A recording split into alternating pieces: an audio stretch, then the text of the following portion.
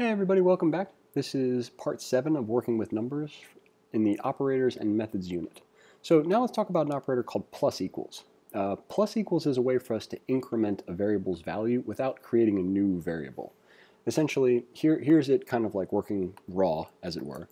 So we have an initial variable called increment, and set it equal to 11. And then we're going to say increment plus equals 2. Now, essentially what this means, or what this actually does, is increment is equal to increment plus 2. These two lines mean exactly the same thing. And the following exercises we're going to do for plus equals, minus equals, times equals, and divides equals are all going to be offshoots of this exact same concept. So when we hit run, we'll see that increment is now has a value of 13. Um, so okay, we come back here. Let's talk about some total units.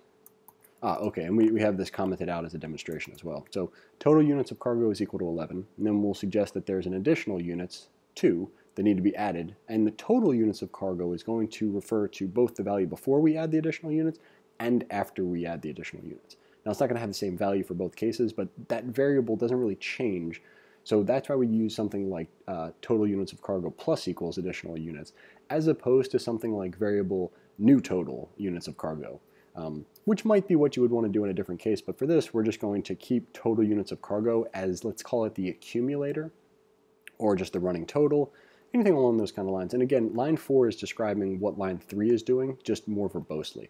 But you want to keep in mind that lines 3 and 4 do the exact same thing. So after having incremented our total units of cargo, it's now equal to 13, and it's time for a challenge. So we're going to complete a function that takes in two number parameters, base and incrementer, and returns the result of incrementing the base by the incrementer. Your function should reassign base to the result of incrementing base by incrementer using the plus equals operator, then return base. Below is an example of the code running, assuming that you will have completed the described function increment. You likely know the drill at this point, but for those of you for whom this is the first video you're watching, we're going to copy the stub over to a separate coding environment so we can have some space to work. Then we'll say variable result incremented is equal to increment, call it on 11, basically our test case here. And if this returns 16, we know we've done it at least somewhat correctly.